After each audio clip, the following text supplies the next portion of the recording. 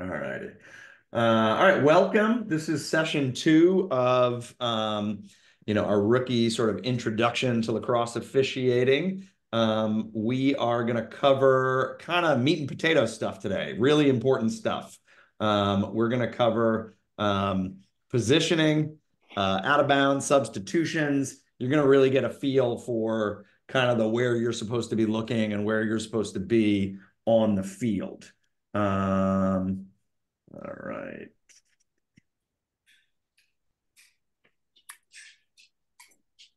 Here. All right. Um, all right, we'll let people come in as they come in. Uh, as I always do, I will send you guys an email hopefully tomorrow. Um, I have a pretty light day tomorrow at work, so I should be able to get this out. But if not, I'll send it out on Friday. Um, and uh, you know, I'll sort of let me share my screen and I'll show you what we are going to do.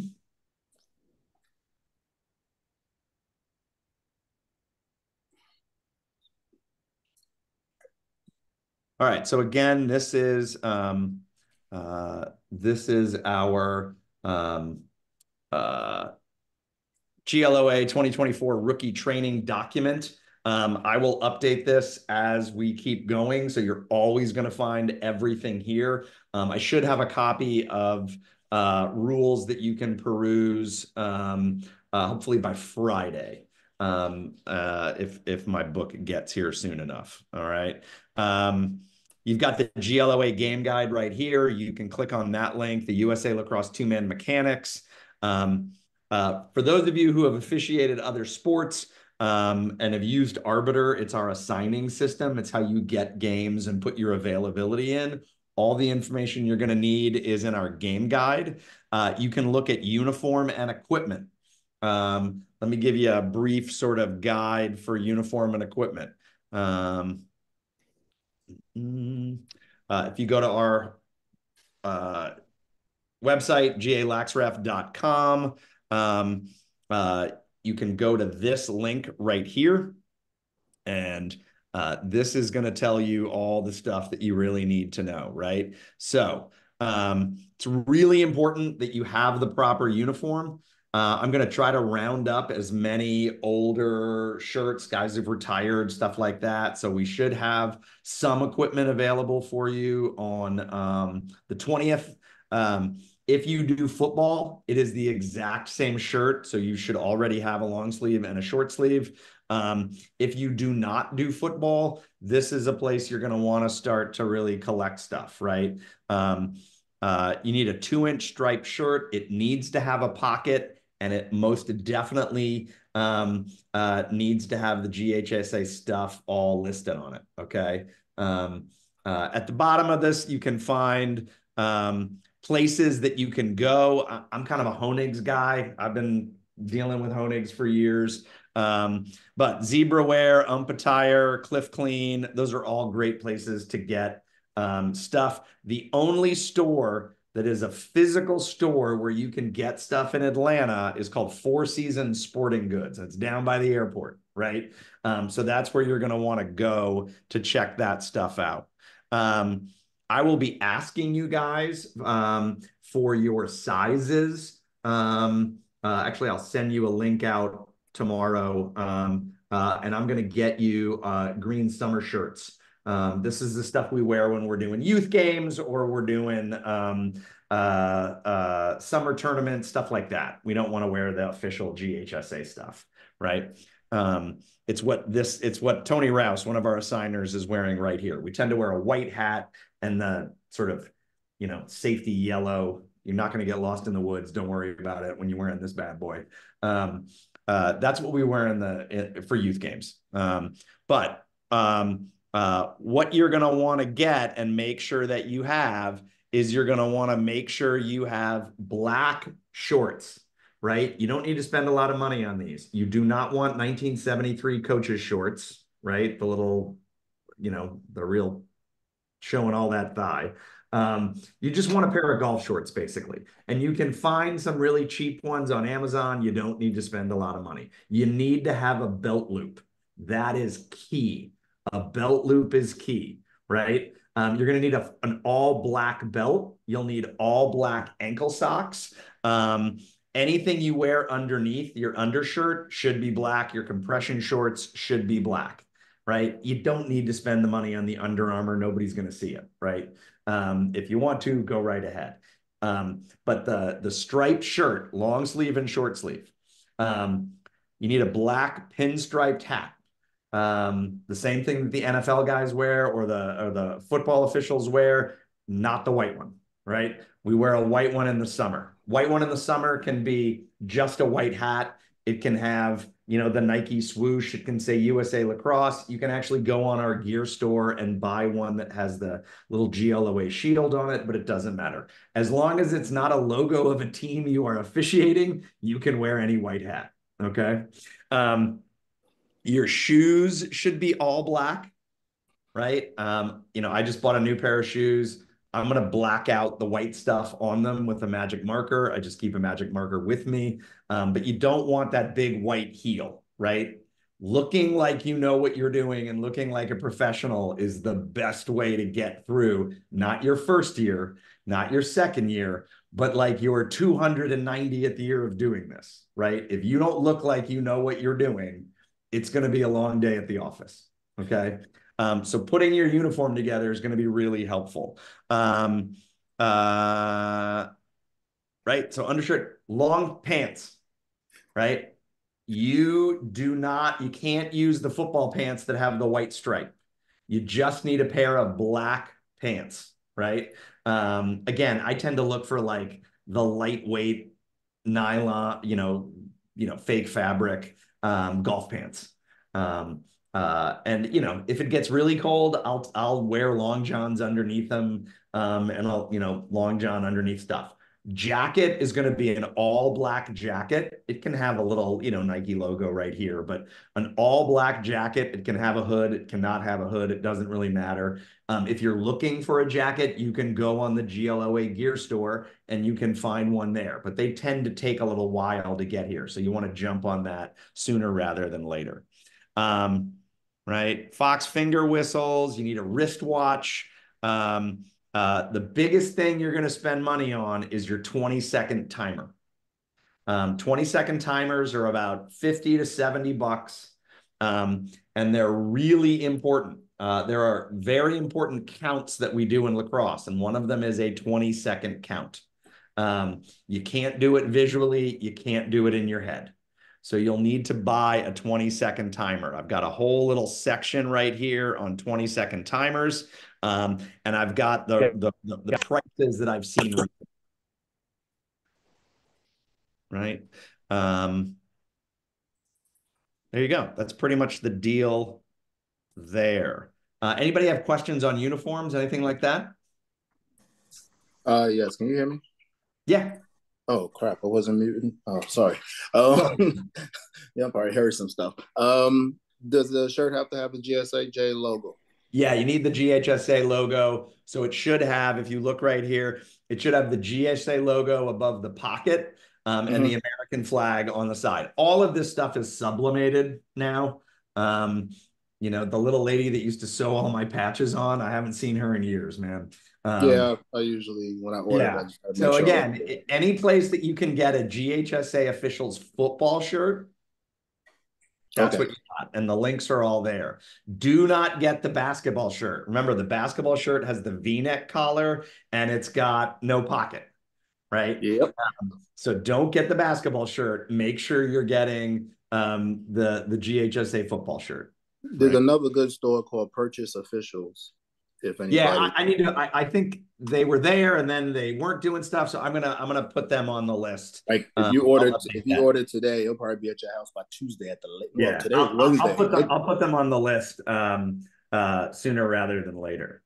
All right, we're gonna jump into it because we've got a lot of stuff to cover, um, and I want to make sure um, that we get into all of this. Wait a second. What's the order we're doing this in? We are doing this in we want to first do, right? So we're going to do, all right, positioning out of bounds and then substitutions and restarts. Okay, so we do def dot two.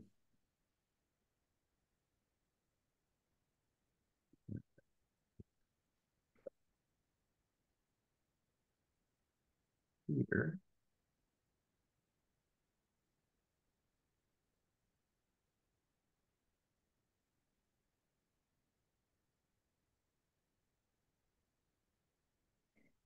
All right.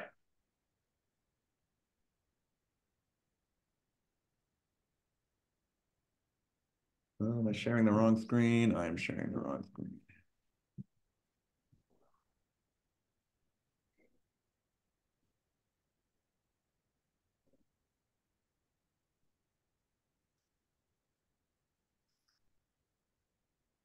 All right. All right. This is this is the real deal. This is the not necessarily the rules. We're going to cover sort of what's a foul and what's not a foul um, in a later presentation.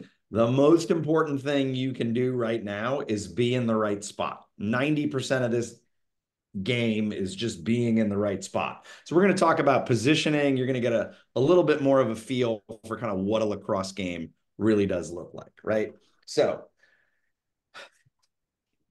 you really want to beat the ball to the goal line and the goal, right? One official needs to be uh, staying ahead of the ball. Um, you want to maintain a wide triangle between you and your partner. If you are looking across the field and you see your partner, one of you is definitely in the wrong space, and maybe both of you are in the wrong spot. Okay.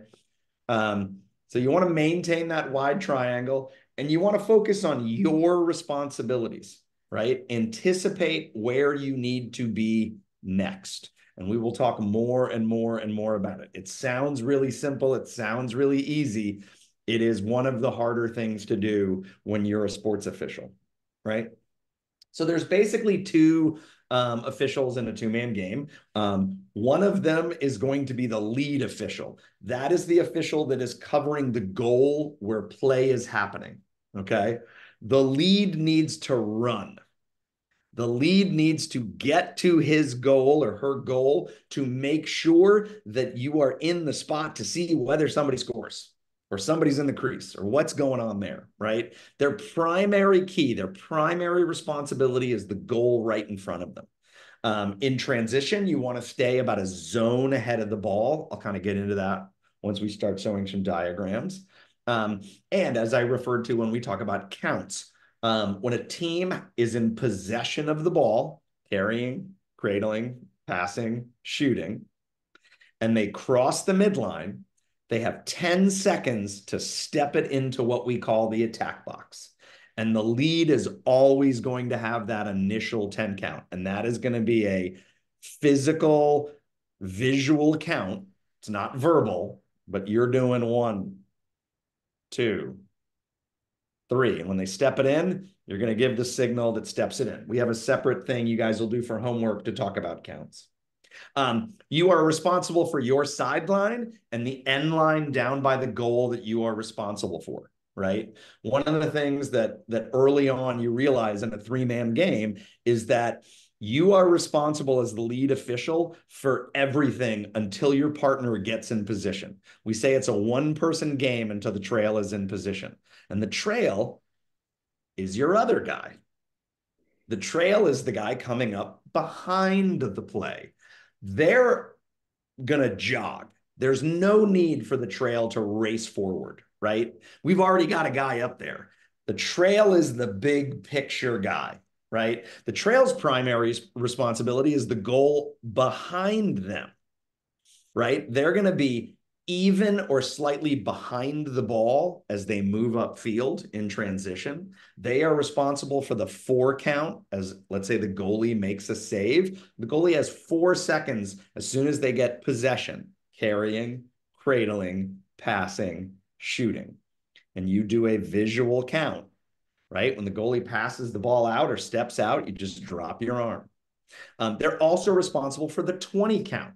A defense has 20 seconds to get it from their defensive end once they gain possession until they cross the midline. You're going to flip your timer so that you can focus on other things and you're not going one Mississippi, two Mississippi, you know, 18 Mississippi, all that kind of stuff. They're responsible for their sideline, their end line, and when they get into position for the midline, right? I'm going to say this a thousand times. Trail watches the shooter. The trail is responsible for watching what happens to the guy that shoots on goal. The trail should rarely know if a goal has been scored. The trail should know how the shooter got on the ground and what that contact was. This means you've got to trust your partners. Your partner is the lead. He is responsible for the goal and whether a goal is scored and all of that stuff. You are responsible for the trail official. Now, what's going to happen, and we all of us have gone through this growing process, is you're going to want to watch the ball, right? If you grew up watching your kids play, or you were a coach, or you were a player, you have trained yourself to watch the ball and watch the play. You have to become a good off ball official if you really want to be good at this, right? Um, because if the trail gets if the shooter gets killed and the trail is watching the ball you're going to be the only person that doesn't see that kid get killed right? So the trail watching the shooter is the number one job of the trail official. So let's talk about places to be on a lacrosse field right? Um, i know this kind of looks wacky it's pretty simple there's basically four places to be four places on this side and four places that are identical on the other side.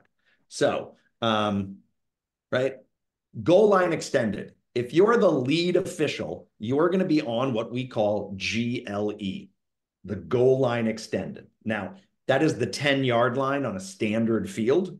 Um, if you stand right on the 10 yard line and you look down at the goal, all you're going to be looking at is an orange bar you're not really going to see much. So when I say GLE, I actually mean kind of like a step above GLE or a step below GLE. We'll talk about that in a sec. But you are going to move kind of in and out as play allows, right? If they're not players in front of you, you're going to slide towards the goal. If the ball goes to your bench sideline, you're going to slide back out, right? So you're kind of moving in and out. Now, if the ball goes to the end line, you need to go to the end line. You're the only person who can make that end line call as to whether somebody's out of bounds or who was the last to touch the ball, right? If you are the trail official, the top of the box is your spot. We say five yards in and five yards up from the top of the box. That basically puts you on the hash marks, five yards in from the wing line right? That is where you're going to kind of camp out. Um, now, you're not going to do what we call uh, you're not going to bury your feet in concrete and what we say we say the phrase kill dirt uh, or kill grass. Um, what you're going to do is I like to kind of do a if the ball goes to my left, I'm going to take a couple of steps to my left. If the ball goes down towards the end line, I may take a step towards the end line. If the ball comes back, I may take a step to my right. Uh, it's kind of the three step cha cha you're sort of always putting yourself in a position to see the big picture. The trail is the big picture guy. Now, when we decide that we are going the other way, there's an interception, there's a the goalie has made a save, and now the defense is in possession of the ball. That trail is gonna on the bench side or the, the far side is gonna go to the cone. And I want you to run to the cone because you are the person who has to officiate that midline. We need to determine whether people are off sides or not, who can come over, who can play the ball, all those kind of things. Once you are a thousand percent convinced that a team is going to move the ball into their offensive end, you're going to need to run to GLE. This is why we say the lead runs. And you're going to get down to GLE and you want to stay basically one of these big lines ahead of the ball it is really hard in a two man game. This is why when you watch college games, um, they've got three officials, and when you watch pro lacrosse, they have four. Right? These kids move fast. So you're going to run down to GLE and you're going to sort of repeat the entire entire process. Now, the new trail official, initially, he's going to have that four count. He's going to turn his 20 second timer on at the same time he's going to slide down. We don't want to go to the sideline here. Um, that little area in the substitution area, um, that's where pl- players are coming on and off. I call it the Bermuda Triangle. Like nothing good can be found in this area. Um, you can get kind of run over. So you want to go to either the bottom, the middle, or the other side of the midline because you're kind of responsible for the secondary offsides, right? Your partner's now down by GLE. You have slid up to the midline. You're checking to see, hey, is everybody on sides? And then you are going to slide into your trail position. Five yards in, five yards up from the top of the box, right? And we just kind of repeat this over and over and over again. Now, when you do this, you don't necessarily need to run in straight lines. You might sometimes need to run in a straight line to get to GLE really quickly. If the play is developing slowly, you can kind of banana in and see what's going on. But the if you find yourself on the field and you don't necessarily know where to go, you're going to be at goal line extended or the end line or the sideline. If you're a, a lead official, you're going to be at the top of the box moving to the sideline or moving up to the midline. And if there's transition, you go to the cone or you go to the wing.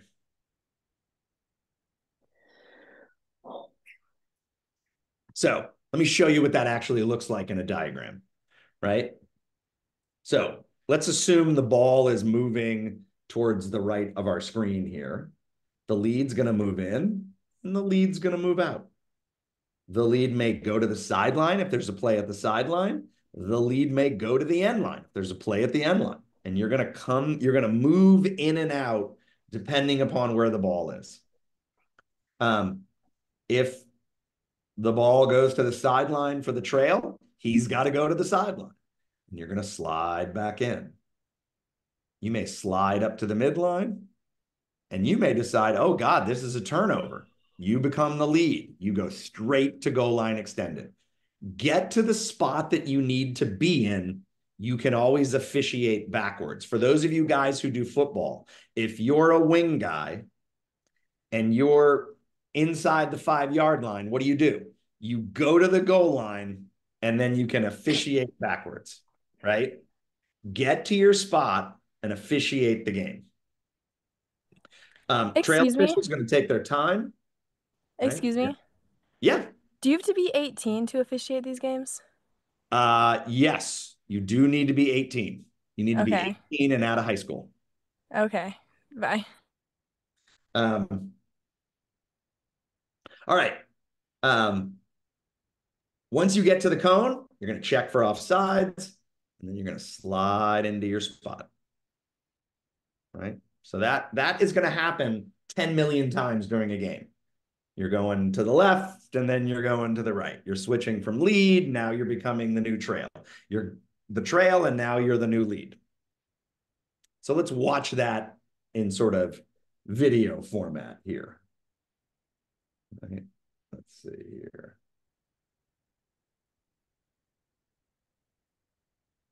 So we got a trail official.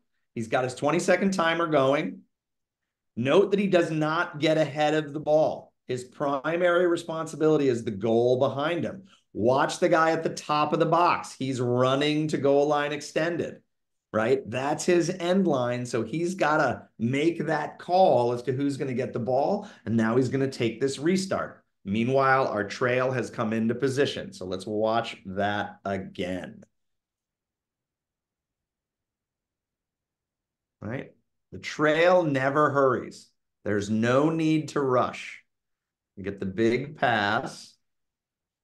Oh, God. Let me do this.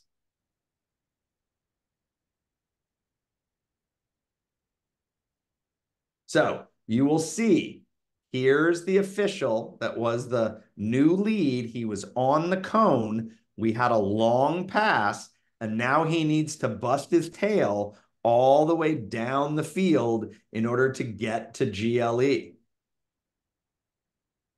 You got a shot. And the question's going to be who's closest to the ball, when and where it goes out of bounds. And then we're just going to set up for the regular play.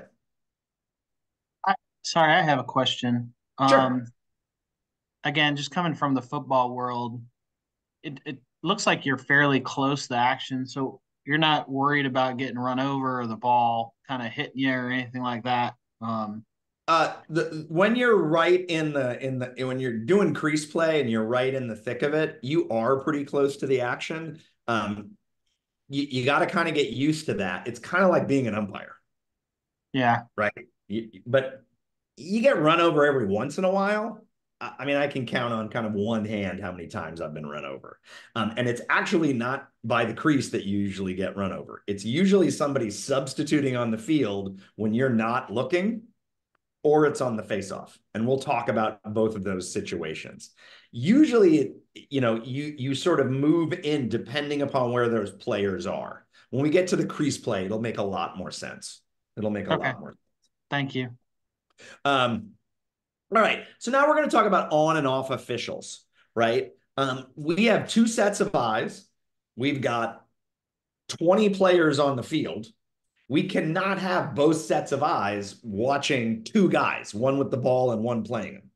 We got to have one set of eyes on the ball uh, and the player with the ball um, and the defender. And we've got to have one guy watching everything else. We call this the on official. He is focusing on what is happening to and around the player in possession. Right now, most calls are made by an on official. Right, you can push. You got a push call, a hold call, a slash call, a trip, illegal body checks. Those are the things that an on official are going to call, and we'll get to what those fouls are later. The off official watches everything else. They're watching for illegal screens, and interference. Those are the calls that an off official is going to make. And the way we determine who those officials are is we're going to divide the field up like this. We divide the box at a 45 degree angle. And so the lead official is going to have this blue area, the alley, and this light blue area. And the trail official is going to have the kind of the midfield area, no, you know, just north of the restraining line, as well as his alley. When the ball is in your zone, you're the on official.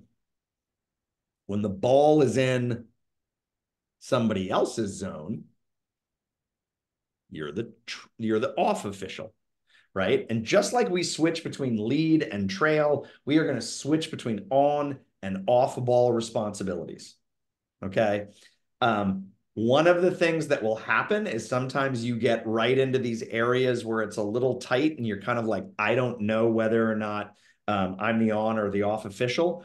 If you can see the front of the player, you are the on official. If you see the back of the player, you are the off ball official. That's the best rule. I will literally yell out, I've got the ball, I've got the ball to make it clear to my partner what my what I think my responsibilities are. Right? So, this is kind of what a lacrosse field will look like with all the bodies on it, right? We're we're, we're play is on the right-hand side here, right? Blue is guarding red, uh, and the red guy at the top um, uh, of the midfield area by the face-off X, he's got the ball. This means that our trail official is the on-ball official, right? So he's he's watching these two guys. That means our lead has absolutely everything else. Okay? When a pass is made, those responsibilities are going to shift. Um, now, it's pretty clear here that the trail can't watch everybody. So you've really got to have your head on a swivel um, so that you're kind of seeing what's happening. If guys are standing really far away from each other, they're probably not going to do anything. Um, so you kind of want to focus in on um, uh, where you think play might happen. Okay. And again, these things are going to switch repeatedly. Let's watch a live example of this. So you will see right at the bottom of your screen here, you see this guy. He's our trail official. He is five yards in from the corner here and five yards up. And we have our lead official right down here. This is a typical sort of youth game. This may be a tournament, um, but you're going to see what these guys do. So there's our trail, and there is our lead official. And the ball You can see white is passing it. We call this getting it around the horn, right? They're passing it around in a big circle, sort of setting up their offense. Um, you're going to see 10's going to get it. He's going to pass and he is going to cut, which means we are going to have this guy drive, take a shot, and off we go. Now, you will notice, let me back it up just a little bit. Look at what the trail official is watching. He is watching the shooter. He is completely responsible for calling anything illegal in regards to contact that has to do with the shooter. That is his primary responsibility here. You will notice that the lead official, he is responsible for the ball and the goal. There's no goal scored. We missed the cage here. And so he has got to be responsible for awarding possession as the shot goes out of bounds. And as we know, a shot out of bounds is given to the team that is the player that is in bounds, legally equipped, closest to the ball when and where it goes out of bounds. In this case, it's clearly white, and we see our official pointing in that direction, right?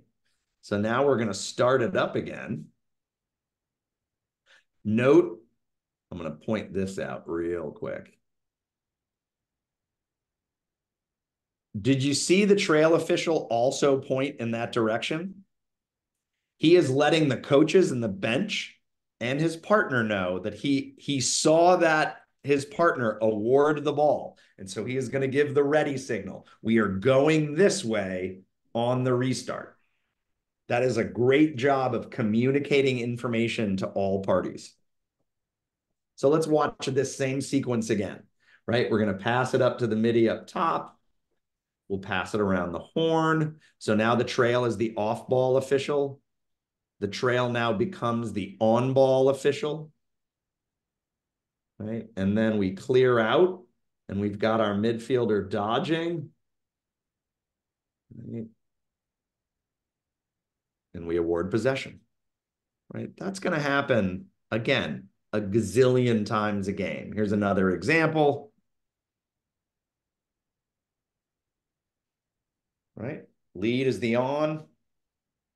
Now the trail is the on ball. Trail still the on ball. Now the lead is the on ball official. Now the trail is the on ball official, right? We just, depending upon where the ball goes, if it's in your zone, you're the on ball official. Okay. So lead and settled situations. This is a great example, Adam, to your question. Um, you know, are there going to be bodies around? Um, you can be even with bodies if they're slightly above you and you're at GLE. You can have a, a bunch of players below you. It's really the question of when you get bodies in front of you because that closes out your view of the goal. Um, so uh, again, you want to be slightly above or slightly below. I'm definitely a below GLE kind of guy. That's that's where I settle in.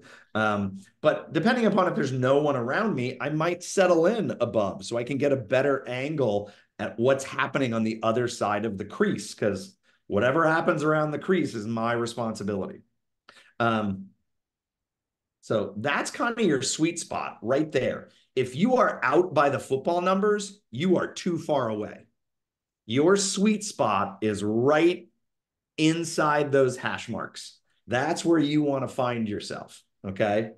Now, um, as play happens, you want to crash the crease. You want to be standing right there as there's a shot, as there's bodies coming into the crease.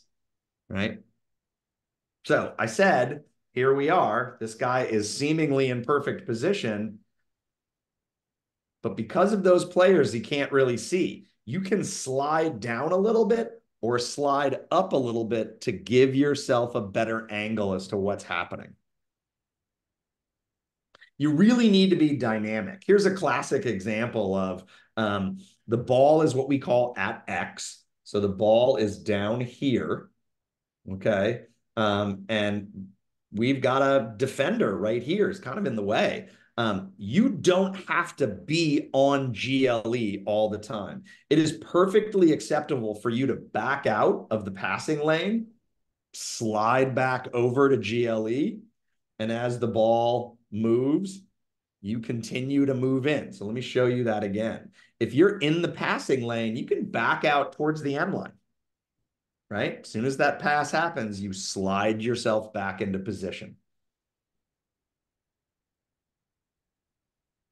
So let's watch these guys do their thing.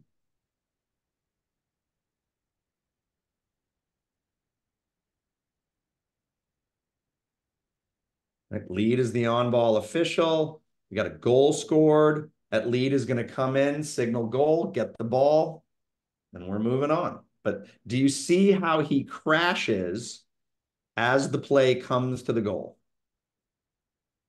Right on those hash marks. Backs out a little bit, and he's walking in right as it happens. You want to be right there when it happens.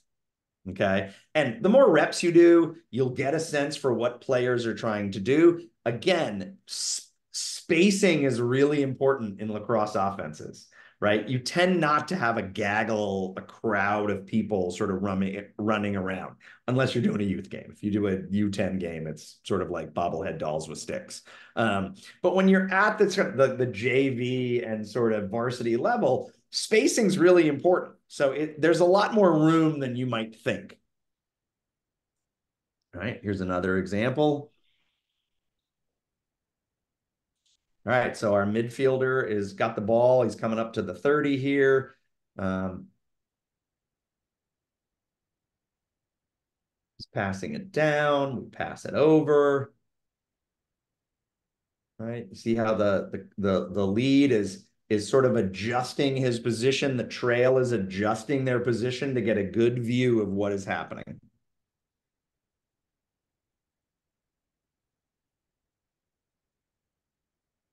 Right. Trail is floating towards the sideline. Leads right there on those hash marks. Lead comes or trail comes closer to the sideline as he dodges down that sideline. Lead backs out. Lead slides back in right? This is great positioning by these guys. Also, just FYI, all the clips I'm using, these are GLOA officials. These are these are the games you're going to do. Right? I'm not showing you fancy guys up in Maryland or or in in in Massachusetts or in Connecticut, right? Th these are our guys doing our games, right? Uh, responsibilities on a shot. Remember, trail watches the shooter. So you've got a shot. Lead's going to crash the crease. They are responsible for the for the goal. The trail has to be laser focused on what is happening with the shooter. Right. Um, let me show you how close crease play can be, and we're going to do an entire separate unit on just officiating the crease.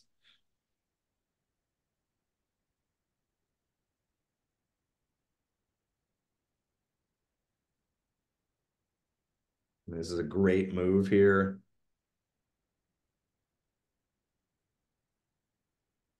I mean, I have watched this clip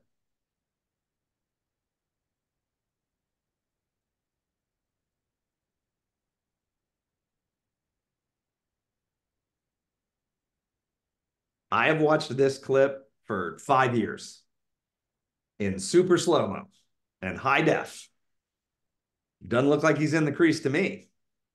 Right? Remember, no offensive player can be in the crease. The lead is the only person who can make this call. And if you are standing out by the numbers, you can be right and nobody's going to believe you. But if you're close and you're wrong, nobody really has a case to argue with you. Right? Be in the right spot and you have a, a foot to stand on. If you're in a wrong spot, it doesn't matter whether you're right or wrong. You've got to be in the right spot. That's the key. That's the key lesson here. Right? And it happens fast. It happens quickly.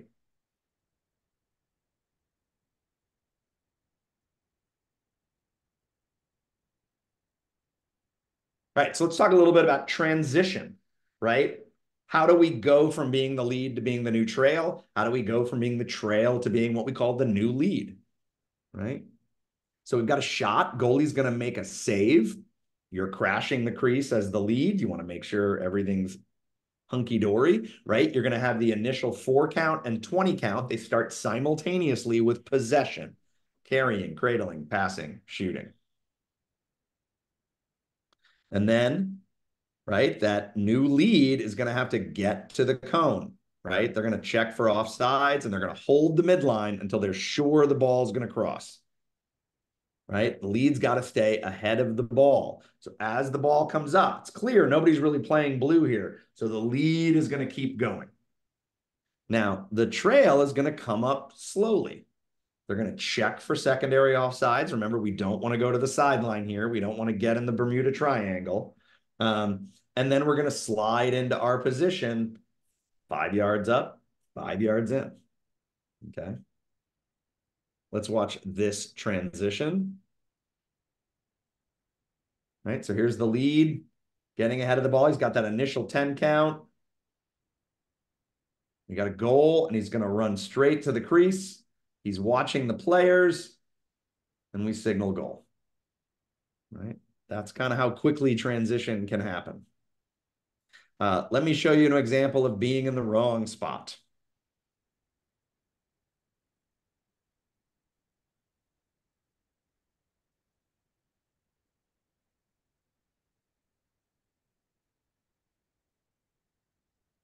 We've all been here. We have all been 30 yards away, and you're the only person that can make the call, right? But that's a really tough call to sell. I've watched that video. This is probably a 10 year old video. I've watched this a thousand times. I have no idea whether that was a goal. I have no idea. I have I have slowed it down. I've showed it to a million people. I, I cannot tell you whether that was a goal or not. But our job is to make a call right? Um, and so that's what's got to happen. So let's let's see this in slow mo and see whether you can tell me.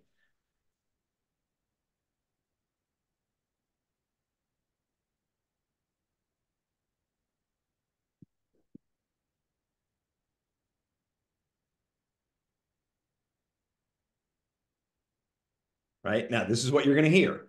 Find another profession. Why are you doing this? Hey, we are out there right? You're going to be out there and, and you can be one of the top referees in the country and you can screw this stuff up. Put yourself in the right position and it's really hard to argue with your decision making, right? Be 30, 40 yards away. And no matter who they are, whether they like the call or not, it's really hard to sell a call when you're this far away. Anticipating um, is going to be really helpful by doing lots of games and watching lots of game film the better you can anticipate where play is happening, um, what a team is doing, how quickly they might turn the ball over is going to be really helpful for you. Right. Again, here's a classic example of trail watches the shooter. Right. That is not a call that the lead can make. That's not their responsibility. They have to know whether the ball is in the goal. They have to know whether there's been a crease violation. And if the ball misses the goal, they need to make sure they are um, making a call on the end line. This is not their responsibility. The only person who needs to be watching this is the trail official.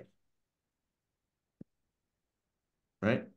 Now, remember, when we go to the end line, there's going to be bodies diving right? We want to make sure we are straddling the end line on this call and making a quick and decisive decision. Remember, it is the body of the players, not the crosse, that determines who's going to get a shot. Closest to the ball when and where it goes out of bounds, as long as you are a legally equipped player on the field of play, right? You can't be out of bounds. Um, so getting right to that end line making those couple of steps towards the end line is a really important thing that you need to do when you are the lead official. Right? Here's a great example. Right? Look at the official put himself in the best position, even though no one's really contesting it. They put themselves in a position that if anything happens, they are there to see it and make the call. And then where do they go? They go right back to GLE and they go right to the hash marks, right? This is his responsibility. He's running out towards the sideline to, to make that call. right? Trail responsibilities, same thing's going to happen, right? You might get a shot and it may ricochet off the pipe. You're watching the shooter. Once you're fine with that, you've got to run to the sideline to determine who's the guy closest to the ball when and where it goes out of bounds, right? Your responsibilities are going to change on a dime. Um, but in fairness, you're responsible for the shooter, you're responsible for the sideline, you're responsible for the goal behind you, you're responsible for the end line behind you. Your keys will always put you in the right position. All right, let's take a five minute break. We'll come back, uh, get some water, stretch your legs. Um, we will come back at um, uh, 8.25 and we will um, do our thing. All right, guys?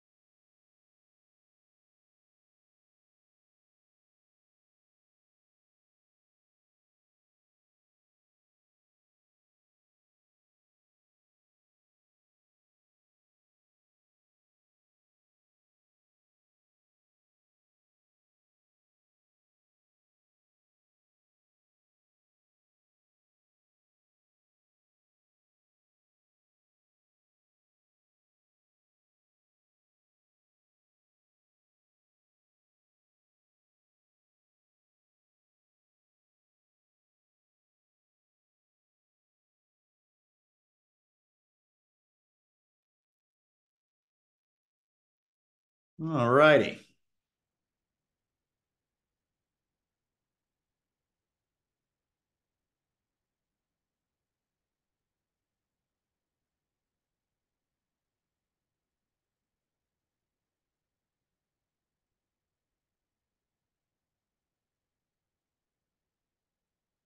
All right, we're talking about out of bounds and offsides. This will be pretty quick. Um, remember, uh, a loose ball touching on or beyond a boundary line um, or breaking a plane uh, is awarded to the team that did not last touch it. Think basketball, right? Um, a player in possession is out of bounds if player or crosse touch the boundary line or beyond. Remember, you got to touch something out of bounds right? So if you're in the air and you have not landed out of bounds yet, you still can play. Um, you can run down the sideline with your stick hanging over the sideline. That's completely fine. A shot is different. Um, you award the ball to the inbounds player closest to where it went out of bounds. So uh, this is a pretty good example here. Here's our player running up the field. That's a legal hit. Ball goes out of bounds. White was the last to touch it, so green green ball. Okay. Quickly quickly do our restart, right? So out of bounds mechanics. You are going to do this a million times a game. When the ball goes out of bounds, your hand goes up, your whistle comes up, and you blow your whistle. Um, I joke with people when I teach this class that as a teacher, it's really hard for me to raise my hand and ask a question because I want to bring my whistle up to my mouth um, and and and blow my whistle. Okay. Um, hand up is the dead ball signal. You are blowing your whistle and putting your hand up to let everybody know that play is dead. Okay. A lot of times when you do these games, you're going to have the timekeeper up in the press box. They might not hear your whistle, but they will see your signal. Um, you then need to point and award the ball. Who gets the ball, right? So you are going to point in the direction play is going, and you are going to say one color and the word ball, right? Don't just say green. When you when you're screaming across a field, uh, having that hard consonant in the second word makes the first word a lot easier to hear. It's a linguistic thing.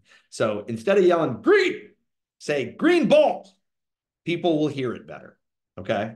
Um, you don't want to say out on white and then it touch. You just say who's getting the ball. doesn't none of the other stuff matters. Keep it simple. You also want to hold your point for a second because remember, your partner is not watching what you're watching. So you need to make sure your partner knows where you're going. When he hears the whistle, he will look across the field. Don't point and then drop your hand hold that point for a couple of seconds. Then you're going to put your hand back up in the air because we need to make sure we have a ball. We need to make sure everybody's in bounds. We need to make sure that your partner's ready to play. And once you're ready to play, you are going to give what we call winding it in, right? Or winding the clock. You're going to do two backstrokes and blow your whistle. That tells the timekeeper and your partner that we're now playing again. Start the clock. Okay. So you will do this sequence hand up, whistle, red ball and point, hand back up until you're ready to play. And then from there, you wind the ball back in. Okay. It's a complete backstroke every single time. So let's watch this guy.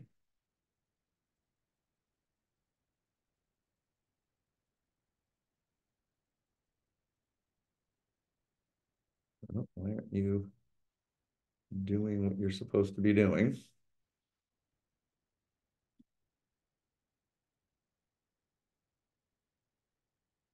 see if I can do it manually.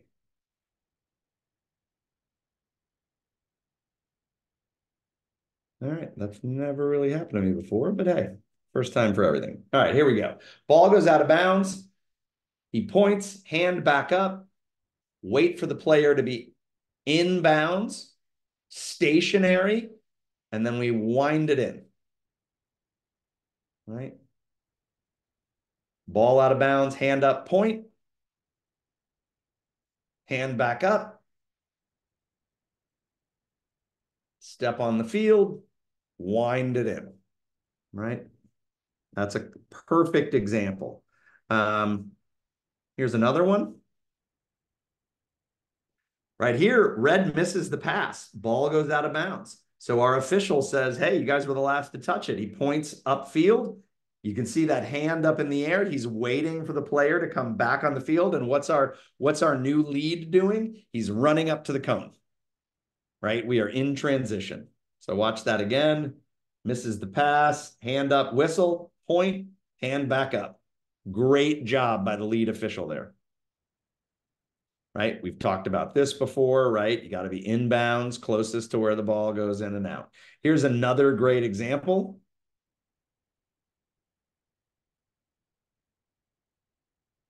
We have a shot, hand, hand back up. We're waiting for the player to come back inbounds.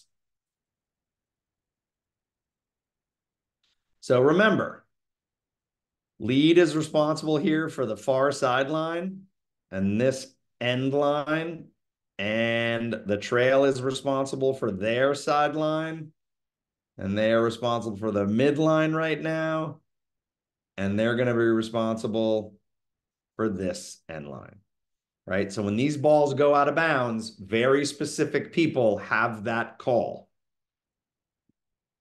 right? And when the trail comes up the new trail he's going to take the midline responsibility So ball out on bench side. Trail's got to get to that sideline, right? That's really key.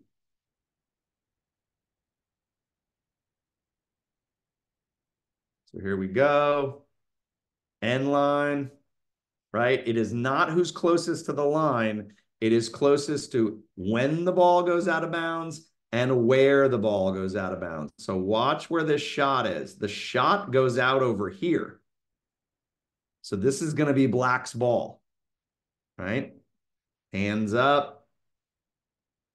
He's going to put him in the exact spot where the ball went out of bounds. And then we're going to restart the play. Great job by the official here. Right? In perfect position. Offsides. Um, offsides is pretty simple. It's one of the hardest calls to make in lacrosse because things are happening really quickly right? You are allowed to have no more than seven defensive players. So you're going to have your three defensemen, your three midfielders, and your goalie on defense. Can't have more than seven. You cannot have more than six when you are playing offense. Okay. Three attackmen, three midfielders. Doesn't really matter who the positions are. All you know is you're allowed seven bodies on defense and seven bodies on offense, right?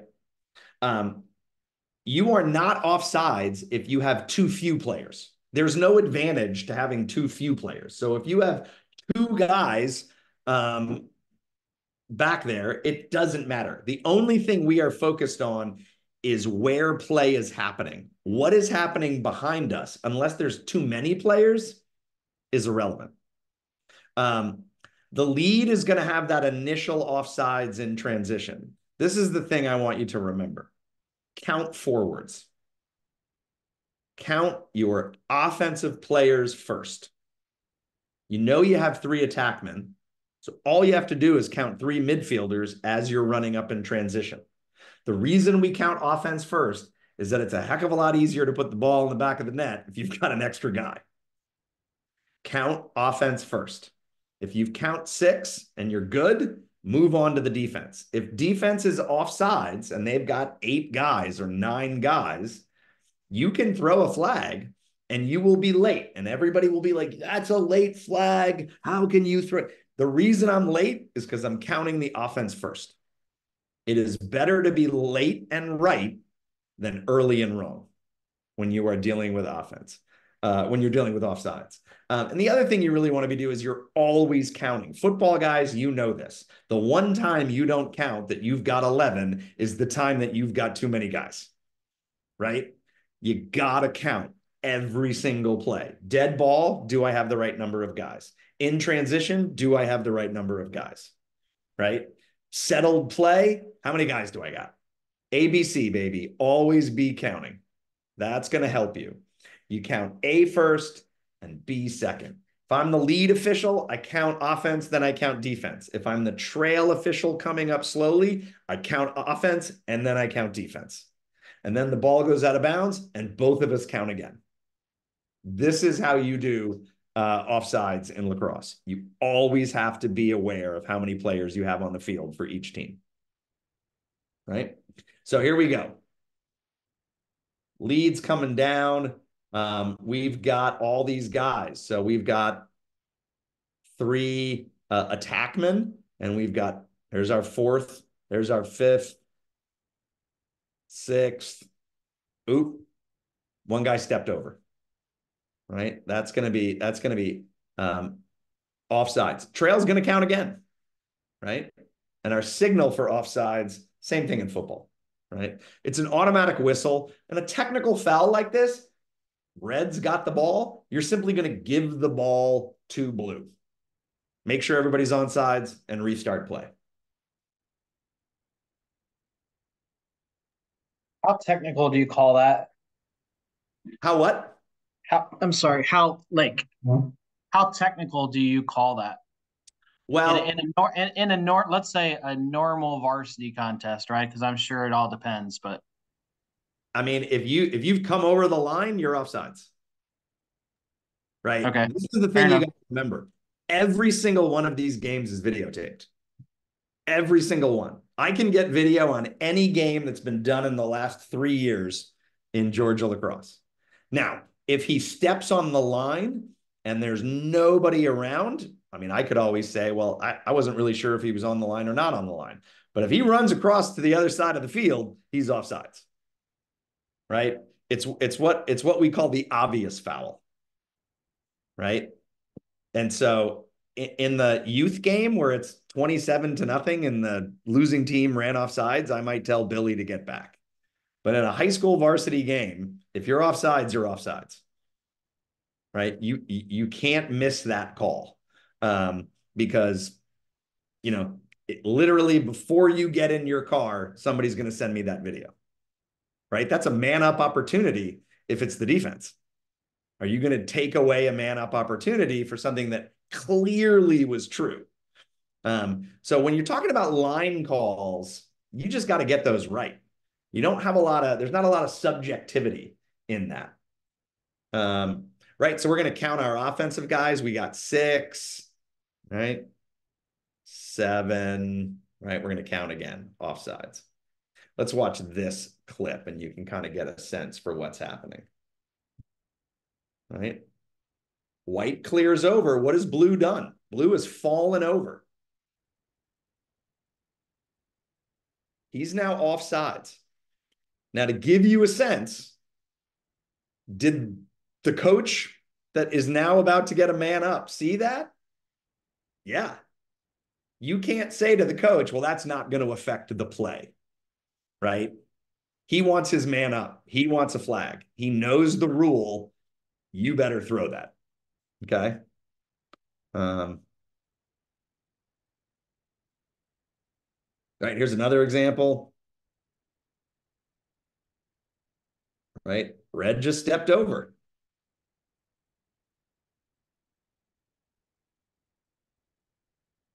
There comes the flag.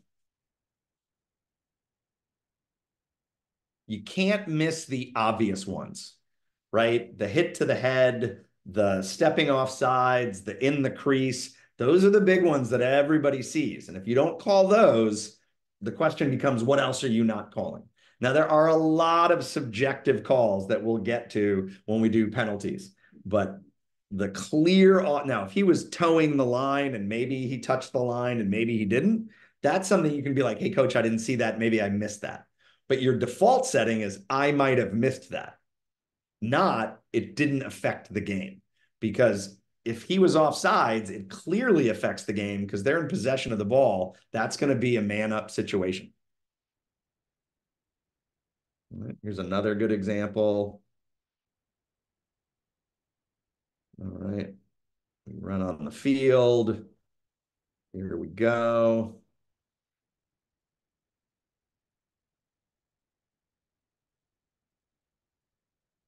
One, two, three, four, five, six.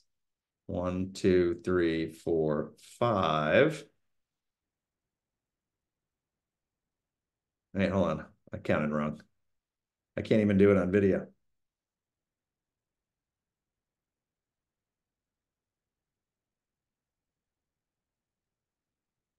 Oh, here we go. Oh.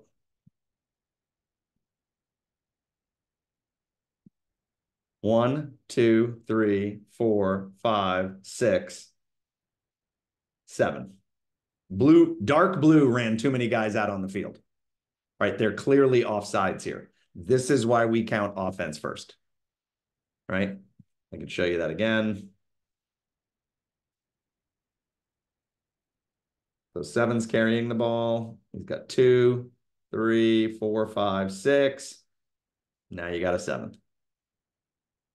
Seven would have been fine carrying the ball over, but another guy came over, right? So that's kind of that's kind of the deal there. Offsides, really tough to do.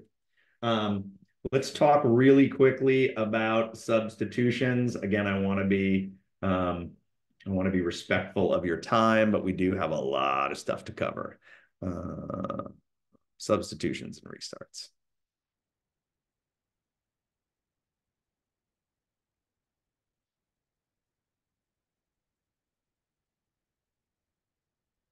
Oh, showing the same one.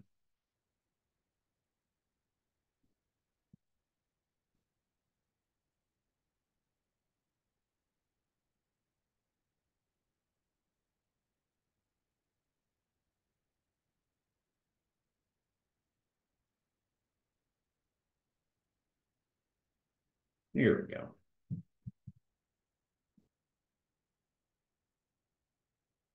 All right, substitutions and restarts. Right? Uh, players can substitute on the fly. Think hockey, one on, one off. Um, you have to substitute during live ball play through the substitution area, and players exiting the field of play have the right of way. Coming off the field, you have to defer to that person coming off the field. You can't delay entry onto the field to gain an advantage. You've got to be properly equipped and you got to be on sides. So substitution area right down there. So blue runs on, blue can blue runs off, blue can run on. Red steps off, red can step on, and they've got to remain in their respective um, onside positions. Now, the substitution area, it's 10 yards wide. So as somebody comes off, you don't have to run on on the same spot. You can go to the other side of the field and teleport yourself essentially 10 yards down the field. Right? Let's see that again. Right? White's going to go to the other cone. And as this guy runs off, he comes on. Now remember, you are not on the field. Right, so here comes White. He is not on the field until he touches right there. You are not in bounds until you are completely touching and not touching out of bounds. You have to be touching inbounds and not touching out of bounds. So people are going to yell, he left early, he left he's not in bounds until he steps in bounds. Here's an example. Right, we're going to have a shot here. Goalie makes a really nice save. Defender picks it up. And we have white guys down here at the bottom running off and substituting on. Okay, this is what we call on the fly substitutions. Here comes number four. He's subbing in for the clearing team now. All right, here's a here's an example.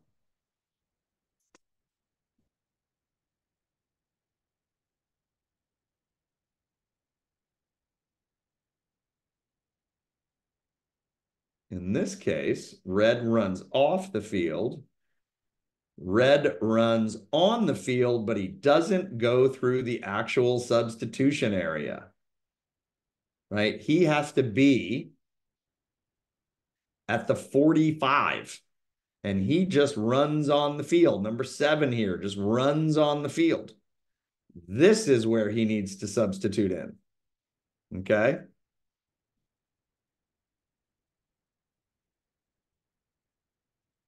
Um, restarts. You've got a dead ball. You've called a foul. You're awarding it to the other team. Ball's gone out of bounds. You're awarding it to a team. What you want is basically it's roughly five seconds to be ready to play. Now, if a kid's trying to go get the ball and he's got to dig it out of the branches or the bushes or a fence, that's fine. He's trying to actively get the ball. Um, you can give a five second count if no one wants to pick up the ball. And if nobody picks up the ball within five seconds, you can award it to the other team. In 24 years of doing lacrosse, I think I've done that once. And it was just chickens with their head cut off. Everybody was running around like idiots. Okay. Um, no offensive player, period, can be within five yards of somebody restarting the ball.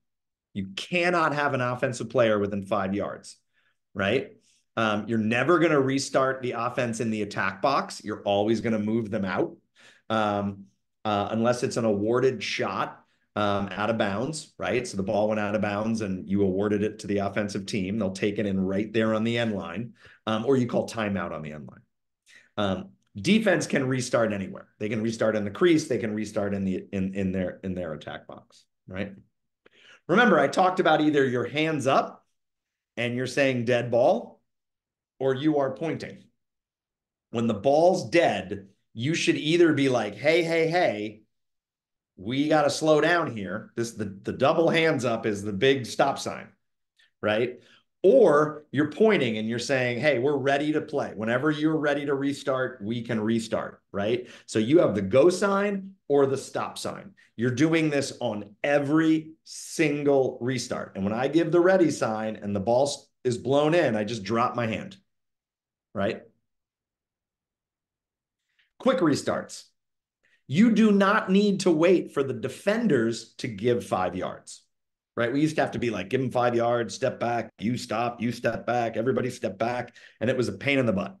What we do now is a defender can be within five yards of the ball, but they have to allow the offensive player a direct path to the goal, and they have to give up five yards before they can actually play the player.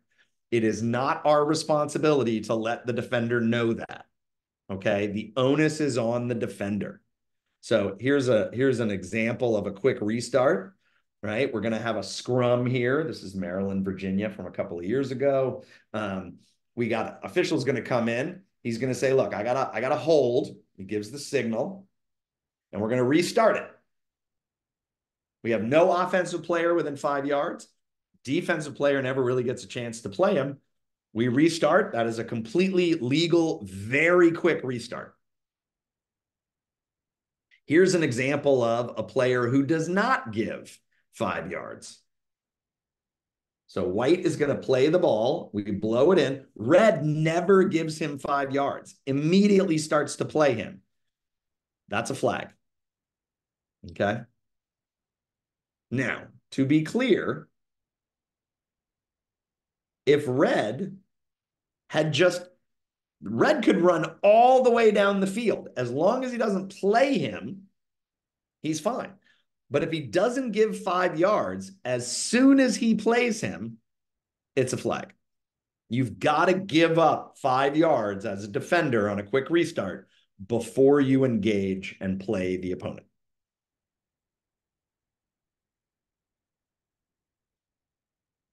right? Here's an example of a restart where we had offensive players within five yards of each other. No one knows who the ball, who's got the ball. The other team is completely confused, right?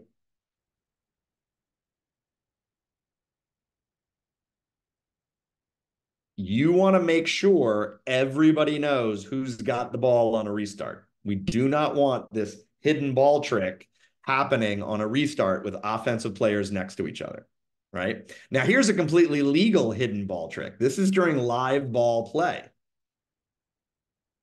These guys can all come next to each other. And then they go running off. Nobody knows who's got the ball. You can take a shot, right? This is a hidden ball trick in the Navy Johns Hopkins game.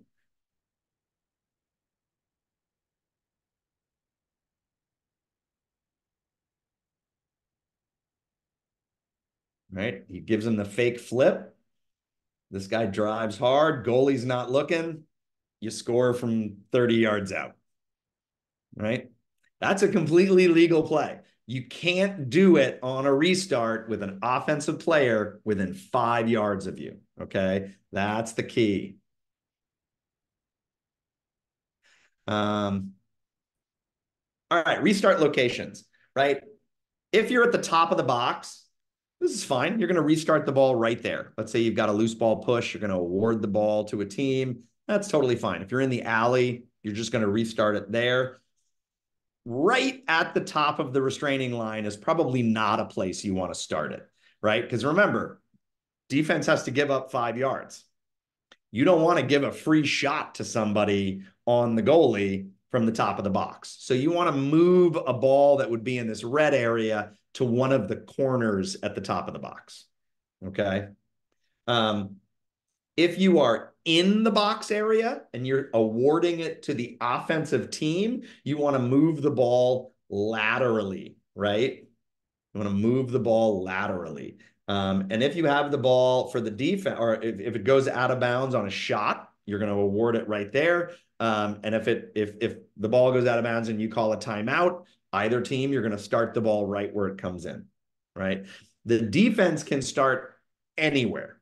The goalie can start with the ball in the crease, right? So here's an example. All right, we got a push. We're awarding it to red. You direct it into the alley. We're going to move it laterally. No offensive player within five yards. We're going to quickly restart. Okay. Oh, somebody's got a question. Right. How do you know if you're going to be doing GHSA, GIA? Uh, you're probably going to do all of those things. You're going to do GHSA, GIAA, and youth, right? Um, in order to do GHSA, you have to register with Dragonfly. So make sure you guys are registering with Dragonfly. I'm going to talk to Landon tomorrow and see where we are with that right? Goalie privileges on restarts, right? If the goalie's out of the crease and you have a restart, the goalie always gets five seconds to get back into the crease, right? And you give a visual count as to those five seconds, right? Um, if you realize that a restart has occurred and the goalie's out and you didn't give him five seconds, you stop the play and you say, hey, that's our mistake.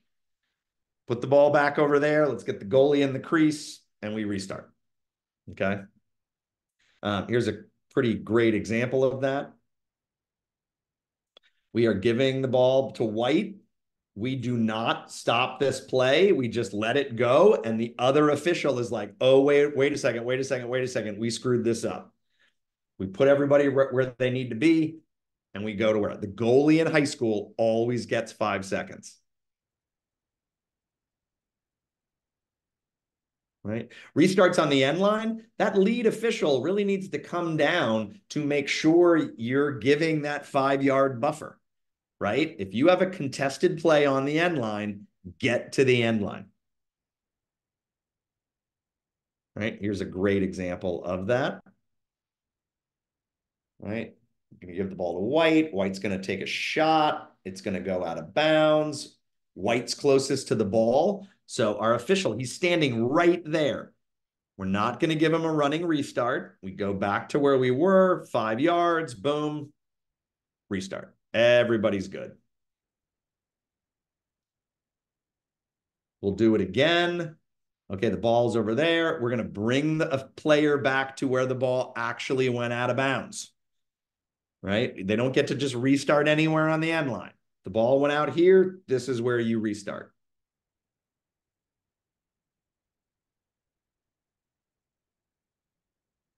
All right, here's another good example. Shot, ball goes out of bounds, right? We're going to award it. We're going to give our goalie, watch the five count. We're giving our goalie five seconds. We move the player back to where the ball went out of bounds and we restart the play. Great job by this official. Right? Restarts on the sideline, right? Remember, you got to give five yards. So you want to have that trail official looking down to make sure that that defender is given five yards.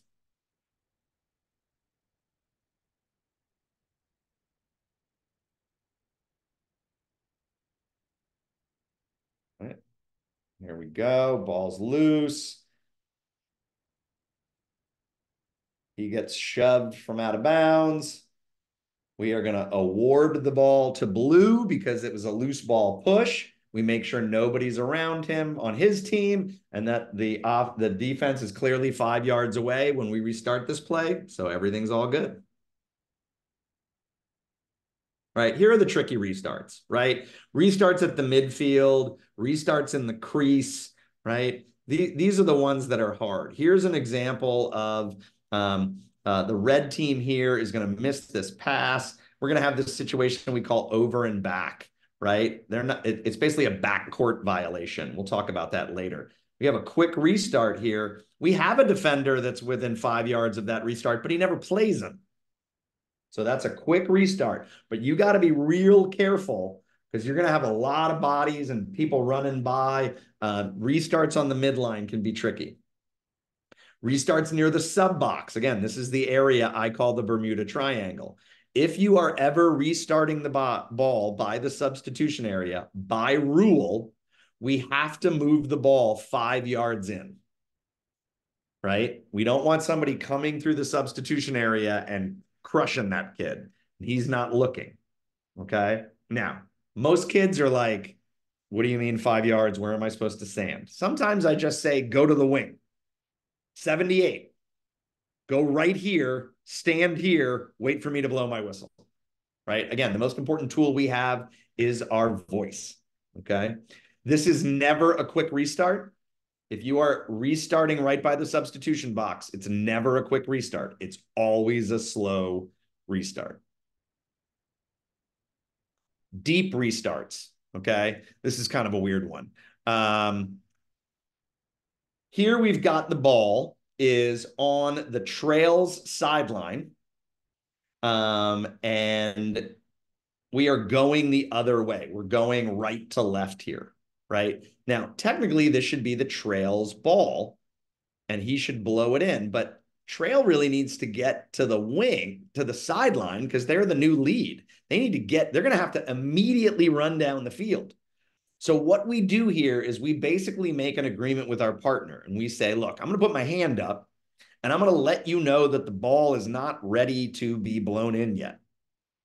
And when the ball is ready to be blown in, right, from this sideline, so we're going to move our red guy, Trail's going to come all the way in. He's just going to look at the at the new lead. When the ball comes in and there's no offensive players nearby, and blue is clearly five yards away, the new lead is going to give the ready signal. And as soon as you blow that ready signal, trail blows his whistle. You are giving up a responsibility to your partner to blow it in. That happens a lot in lacrosse. Sometimes you'll see me do this. I'll be like, my whistle, my whistle, right? As long as we're blowing it in, it's good. But there are situations where it you kind of got to be going in a different direction and you can't really put your full attention on. This is what we call a deep restart. Here is a great example of that. Right? So black is going to throw this ball away. Goes over his head, it goes out of bounds. Right? This is clearly the the new lead's responsibility, but watch the the new trail. He's got his hand up. He's saying, Hey, we're not ready. And as soon as he gets the point from his buddy, he blows it in. All righty. How did I do? Oh, I am spot on, people. I'm quite pleased with myself. Right? It's the little things. Um, gentlemen, thank you very much again for um, for uh, uh, taking the time to, to, to sit with me and ask questions. Uh, Tim's got a question. Do players need to alert the ref before a substitution? No, all of this is on the fly, right? It's just literally, if one guy goes off, as long as you're legally equipped, you can come on the field, right?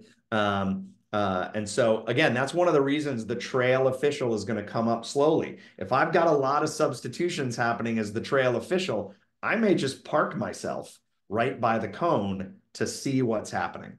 Right. We're going to go over a lot of this on our field day when we do uh, our stuff at Pope High School on the 20th. We're going to go over a lot of this on the field so that you get a really good sense of kind of where you're standing and what you're looking at.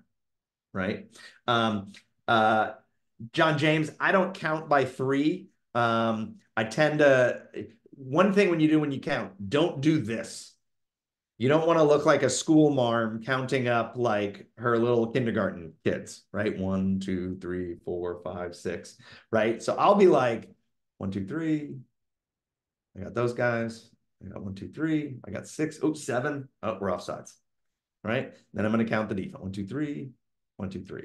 Sometimes I don't even count the first three because I know I've got three defenders and I, I know I have three attackmen. I really count the guys crossing the midline, right? I will take a glance and be like, we got three and three, we're good. All right, all I need to focus on is they're allowed three more guys to come over the field both times. And I rarely count the goalie. We can't play the game unless we have an, a legally equipped goalie. So I just assume the goalie is there, right?